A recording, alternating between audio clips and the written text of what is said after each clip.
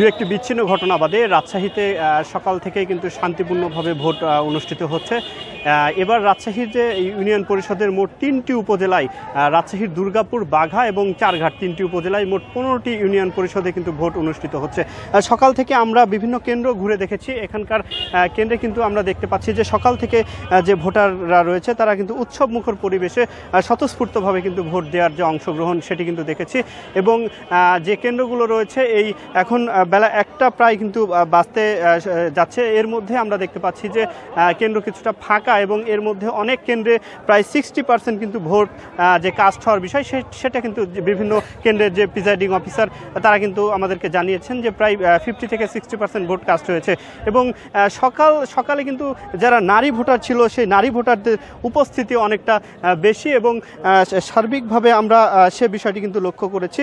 এবং আরেকটি বিষয় বলে রাখি যে দু একটি বিচ্ছিন্ন ঘটনা বাদেই কিন্তু যে স্বতঃস্ফূর্তভাবে যে ভোটের যে অংশগ্রহণ এবং অন্যদিকে আইনশৃঙ্খলা বাহিনীর যে সদস্যরা রয়েছেন, পুলিশ, র্যাব এবং আনসার সদস্য থেকে শুরু করে আইনশৃঙ্খলা বাহিনীর যারা সদস্য রয়েছেন, তারা কিন্তু তাদের যে অর্পিত দায়িত্ব সেটি কিন্তু পালন করছেন এবং এর বাইরেও যে সাদা পোশাকে যারা টহল দিচ্ছেন এবং এর পাশাপাশি যে ম্যাজিস্ট্রেট রয়েছে জেলা প্রশাসনের পক্ষ থেকে তারা কিন্তু যে ভোটের যে সার্বিক যে কেন্দ্রগুলো রয়েছে এবং সেই কেন্দ্রগুলোতে কিন্তু পর্যবেক্ষণ করছেন এবং নারীদের যে উপস্থিতি আমরা দেখতে পাচ্ছি সে এই যে রাজশাহীর যে তাঁতপুর সরকারি প্রাথমিক বিদ্যালয়ে কিন্তু এখন আমরা অবস্থ অবস্থান করছি এবং এই তাতাপুর সরকারি প্রাথমিক বিদ্যালয়ে আমরা দেখতে পাচ্ছি যে পুরুষের চেয়ে নারী ভোটারদের যে উপস্থিতি সেটি কিন্তু বেশি।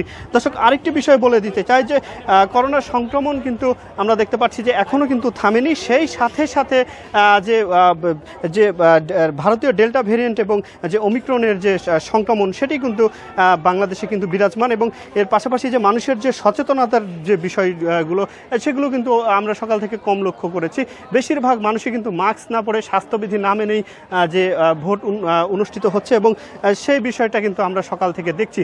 এবং সার্বিকভাবে সে বিষয়গুলো যদি একটু দেখাতে চাই, এখানে নারীদের যে দীর্ঘ লাইন, সেখানে আমরা দেখতে পাচ্ছি যে ভোটে অনুষ্ঠিত হচ্ছে এবং তাদের সাথে আমরা একটু কথা বলতে চাই। কেমন ভোট হচ্ছে? কি অবস্থা?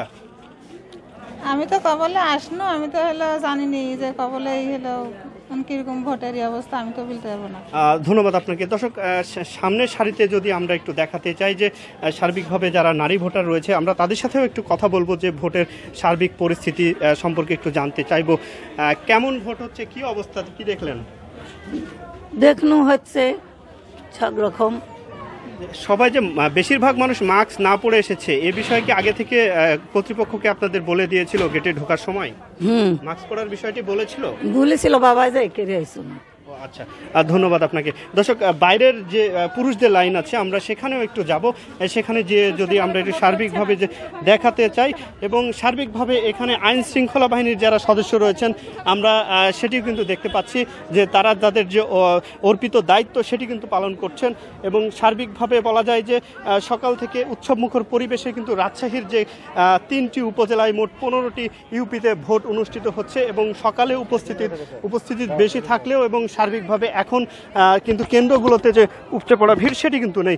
এবং বেলা বাড়ার সাথে সাথে আমরা দেখতে পাচ্ছি যে যে আহ, যে কেন্দ্রগুলো দায়িত্বরত যারা প্রিজাইডিং অফিসার রয়েছে তারা আমাদেরকে জানাচ্ছে প্রতিটি কেন্দ্রে প্রায় ফিফটি থেকে সিক্সটি পার্সেন্ট যে ভোট কাস্ট হওয়ার বিষয় সে বিষয়টি কিন্তু তারা আমাদেরকে বলছেন। এবং এই বেলা বাড়ার সাথে সাথে কিন্তু এখন দুপুরবেলা যে লাঞ্চের যে বিরতি একটু পরে এবং তারপরে ভোটারদের উপস্থিতি আরও বাড়বে। এই ছিল রাজশাহী থেকে ইউনিয়ন পরিষদের ভোটের সর্বশেষ পরিস্থিতি।